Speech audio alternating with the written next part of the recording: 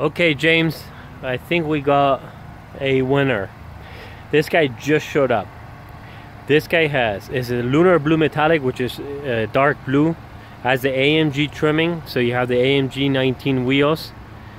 We have parking assistance, so you have the sensors front and back.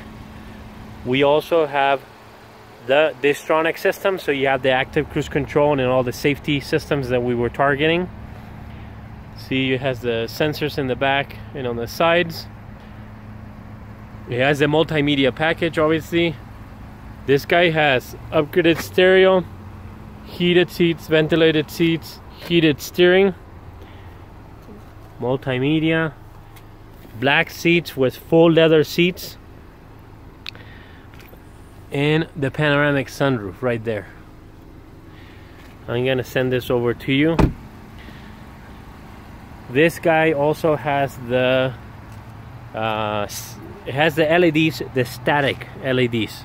So this guy has the upgraded lighting unit, but it does not turn. These are the static ones, the front, and obviously the ones in the back. I'll send this over you to you. Uh, check it out because this car's here.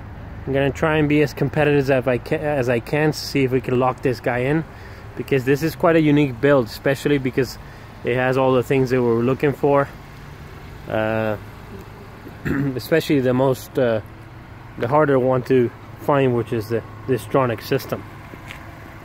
I'll send this over to you